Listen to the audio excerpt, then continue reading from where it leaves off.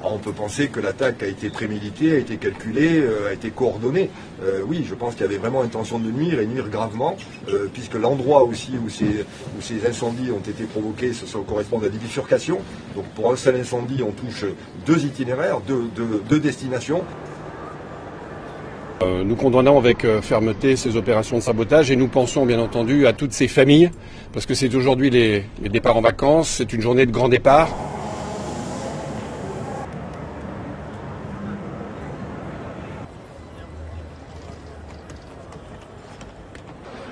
Donc euh, c'est dommage pour aujourd'hui parce que c'est les JO en fait. Mais pour les touristes, J'ai pas spécialement peur, mais c'est vrai que c'est quand même assez inquiétant. C'est très inquiétant. Là, ça se passe là sur euh, les grandes lignes. J'espère qu'il va rien se passer, en tout cas sur Paris, pendant euh, l'ouverture. Oh, totally nervous about missing it. Nervous about missing it, yes. Yeah, because it's something that we've planned and, and we're looking forward to, so we're hoping we make it. And we have tickets now for another train at 4 p.m., but we want to take an earlier train so we are on time to get to the opening ceremony. Today, what we can say is that uh, there is no safety issue uh, for operating trains, and anyway, we will not operate one train if there is one risk.